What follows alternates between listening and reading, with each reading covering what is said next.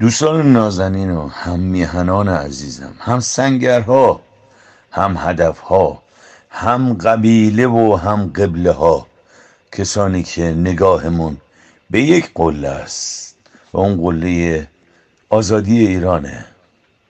این حرفایی رو که می‌زنم نه از سر خشمه نه از سر گلایه است. اگر چه شکل و شمایل گلایه داره اما گلایه نیستن. در حقیقت می‌خوام یه خورده قلقلکتون بدم. چرا؟ چون جمله در آلمانی هست که استفاده میشه به نام زنفت دروک. یک اگر مستقیم به فارسی ترجمه بشه میشه فشار ملی. همه ما انسان ها گاهی یا بگیم اگر مثلا اون تلنگر. یک تلنگر ملی همه ما انسان ها تو زندگی در خیلی موارد احتیاج داریم. یه موقع هستش که شما هوا زیاد خوب نیست اما بدنت احتیاج داره به یه راهپیمایی به یک حرکت. خودت رو میفریبی و نمیری بیرون. دوستی زنگ می‌زنه میگه بریم قدم بزنیم. همین بریم قدم بزنیم. اگه بهش بگی نه هوا بده میگه نه محشر به این خوبی. شما را میافتید باش میرید بعد می‌بینی که احوال بهتری به دست داد. و این اون تلنگر است اون فشار ملی هست. که با دو کلمه تونسته شما رو به راه بندازه بری به جایی برسی که بعدش احوالت بهتر بشه. در مورد همین مسائل سیاسی هم همینه. البته ما کار سیاسی انجام نمیدیم ما کار اجتماعی انجام میدیم. به هر حرکتی نمیشه حرکت سیاسی گذاشت. اگرچه در راستای سیاسته ولی حرکت ما حرکت اجتماعیه. یعنی چی؟ یعنی یک اجتماعی در ایران به حرکت افتاده و ما در پس خواسته اونها خواسته هاشون رو میاریم ترجمه می‌کنیم یا بلندگو می‌ذاریم که صدای اونها به جهان بیشتر تنین انداز بشه و شنیده بشه. حالا منی که نقش برفرض میکروفون و کابل میکروفون و بلندگو و پایی بلندگو رو باید بازی کنم بازی نمی کنم. و باز توقع دارم که اون ملت صداشون به دنیا برسه. برسه. سوال من تک تک از تک تک شما عزیزانی که این حالت رو داشتید. حالا ما که نمی‌دونیم کی این حالت رو داشته و کی نداشته. اما خود تو که می‌دونی قربونت برم. تو که خودت می‌دونی. در رو تخت دراز کشته بودی یه فیلمی داشتی می‌دیدی. بعد حالش رو نداشتی بره این تظاهراتی که یه ساعت دو ساعت هست. هوا هم محشر بود. خیلی هم حالا رفته بودن بیرون شهر. یک سریا گفته بودن وای دوستانی که آمده بودن می‌گفتن. می‌گفتن ما به یک سریا زنگ زدیم و اونا گفتن وای تو این هوا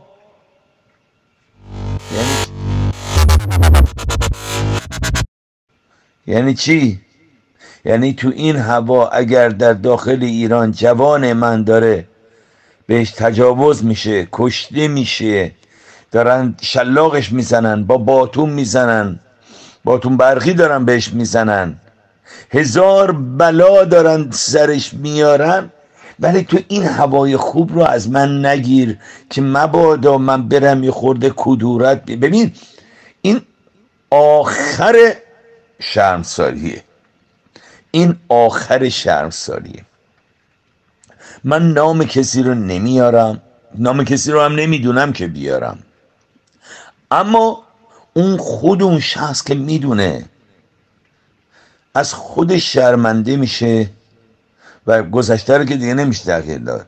اما حرکت های آینده رو حرکت های آینده رو ما براش داریم این حرفا رو می‌زنیم. حالا هر عزیزی که این وایس رو برای هر کس دیگری که فکر می‌کنه او هم این حرفا به دردش می‌خوره بفرسته در حقیقت یک کسی رو به حرکت واداشته که او هم دیگری و دیگری و دیگری و به این صورت یک اجتماع باعث این میشن که هر کدوماشون به دیگری اون تلنگر یا سمفت دروک رو داشته باشن. و جامعه به راه میفته مثل سنگ دومینو که یکیشون میفته کوچکتری میفته بعد می‌بینی در پایان یک سنگ بزرگی میفته که تو اصلا تصورت نیست که اون سنگ کوچولو کوچولوه. باعث این شده که یک سنگ دو متری شاید یک تونی بیفته. و اینها همه اثرات ما توی جامعه به هم دیگه است. همین وایس شاید بتونه اثر روی ده نفر بیست نفر صد نفر حالا هر چند نفر بگذاره. باعث افتخار منه. باعث افتخار منه اگر تو این حرفا رو بپذیری. حالا هر چقدر نیمش بپذیری. رود اثر بگذاره و تو هم به دیگری بفرستی. ما رفتیم تظاهراتمون رو جلوی کنسولگری یا بهتر بگم خانه جاسوسی جمهوری اسلامی که مثلا نمی‌تونم اونجا رو بگم کنسولگری ایران که میش همیشه میگم خانه جاسوسی جمهوری اسلامی و یک صفت ننگین هم بهش اضافه می‌کنم. دیروز در برابر اون ساختمان من به همسایه ها به پلیسی که اونجا ایستاده بود به دوربین هایی که فیلم می‌گرفتن به زبان فارسی و آلمانی گفتم که این خانه این آدم ها از کسانی دارن در ایران دفاع می‌کنن که بچه مردم رو می‌گیرن توی ون بهش تجاوز می‌کنن تعرض جنسی می‌کنن به قصد کشت میزننش و بعد جنازش رو میندازن توی خیابان یادگار امام. یعنی این جنازه ها یادگار اون اهریمنی هستند که اسمش بود امام خمینی. و در چه خیابونی هم این جنازه این دختر رو که اسمش نیکا بود پرت می‌کنن. یادگار امام. و بعد باز ادامه دادم که برای جمهوری اسلامی اصلا مهم نیست تو چه سن و سالی داری.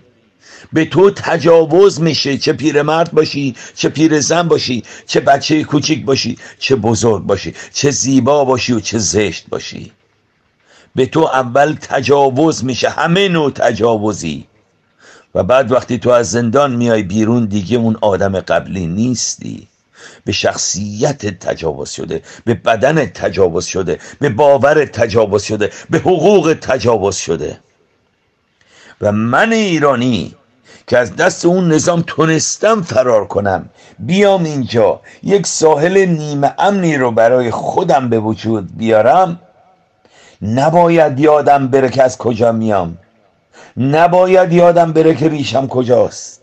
نباید یادم بره که هنوز خانواده و فامیل و همسایه های و هم میهن من در اون فضایی هستن که من شانس آوردم تونستم از اون فضا فرار کنم و به اینجا بیام.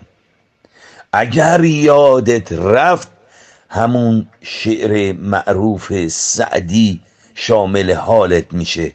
تو که از مهنت دیگران بیغمی نشاید که نامد نهند آدمی. بخش دوم کسانی هستن که بیغم نیستن. قصه می‌خورن ولی قصهشون پشت کامپیوتره. گریه هاشون توی خونهشونه. شعارهاشون رو توی چهاردیواری خونهشون می‌خوان بدن. و بعد ابراز مخالفت بکنن. راننده تاکسی که من و وسایلم رو می برد برای جلوی کنسولگری گفت از کوسوو می اومد. گفت دوست ایرانی دارم یه خانم پنجاه ساله ایه که خیلی مخالفه.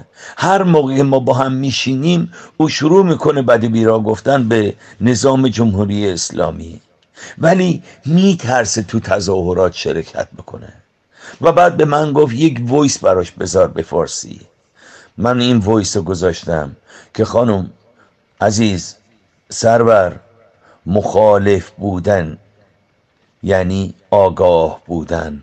یعنی تو زمانی که آگاهی داری مخالف میشی. چرا؟ چون می‌دونی چی می‌خوای و اون نظام اون خواستی تو رو انجام نمیده.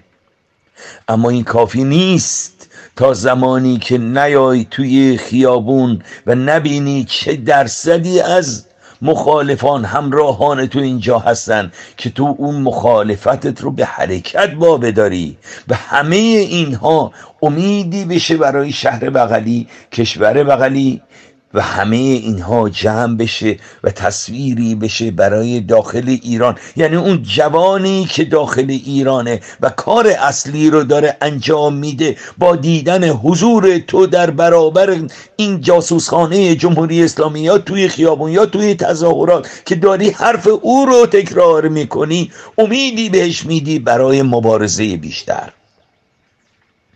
و اگر این کار رو نکردی اولین خیانتی که می‌کنی به خودت می‌کنی.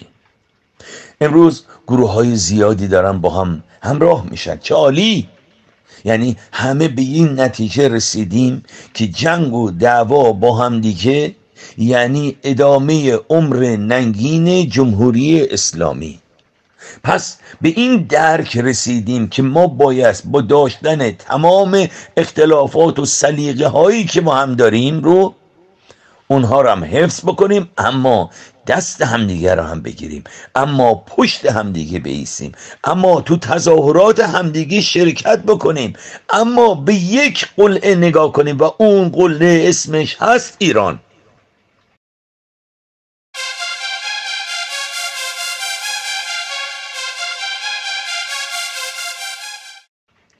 اگر این کار کردیم موفقیم. تکرار می‌کنم. مخالفت با همدیگر رو نگه بداریم. ولی دشمنی با هم نداشته باشیم. چرا که فرق است میان دشمن و مخالف و منتقد. گفتم رو با این سرود پایان می‌برم که سالها پیشتر گفته بودم و در برنامه تلویزیونی که داشتم این رو همواره آغاز و پایان برنامه به عنوان سرود پخش می‌کردیم. که میگه چه با تو مخالف هستم جان می‌دهم تا سخن بگویی. فرق است میان خسم و مخالف. وقتی شوی دور از کینه جویی. در سینه ما تا عشق و منطق همخانه هستند ای هم سرنوشت فردای بهتر در انتظار است. این بر اوستا زرتشت نوشت فردای بهتر در انتظار است این بر اوستا زرتشت نوشت سپاس که به این گفتار تا اینجا گوش کردی. سپاس که این گفتار رو برای دیگری هم میفرستی. و یک سپاس بزرگتر برای اینکه فهمیدی این جملات رو و نوشیدی و حمایت می‌کنی. مخلصت مجید رحیمی پنجم ماه می 2024 منخ